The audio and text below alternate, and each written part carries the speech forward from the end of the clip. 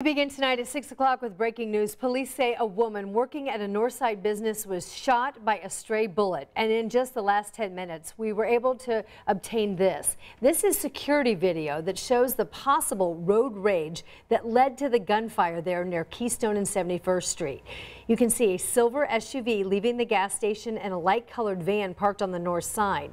The driver of that van gets out and runs and fires shots. We've got John Duran joining us live tonight at 6 from the scene of the shooting near 71st and Keystone. John, what happened today?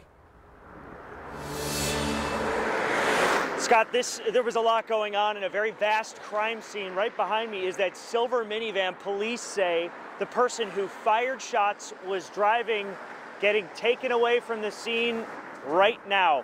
But it all started on South Keystone. They say two cars got into a crash, pulled into this Shell gas station to talk it over. Then that silver minivan pulled in behind. And the next thing you know, police tell us the person inside that minivan started firing shots at those two cars involved in that crash, but the bullets didn't hit anybody uh, that luckily involved in that crash. However, bullets traveled across Keystone to Sullivan Hardware and Garden into the garden center in the very back and hit an employee there, uh, putting her in critical condition, police say, but stable. If you're thinking about using your weapon, make sure you use it correctly because a situation like this, somebody else that had nothing to do with anything got hurt in this situation. Someone who was just trying to go to work, working, you know, all day long, got hurt in this situation. So you have now changed and altered the life of this person forever.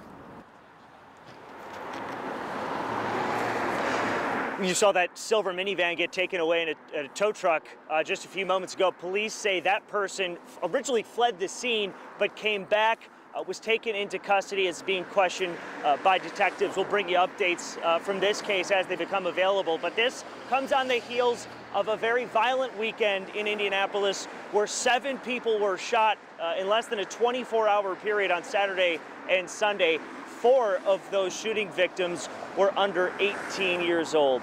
Very violent weekend, um, starting off with a, a violent Monday here in Indianapolis as well. Send it back to you guys in the studio.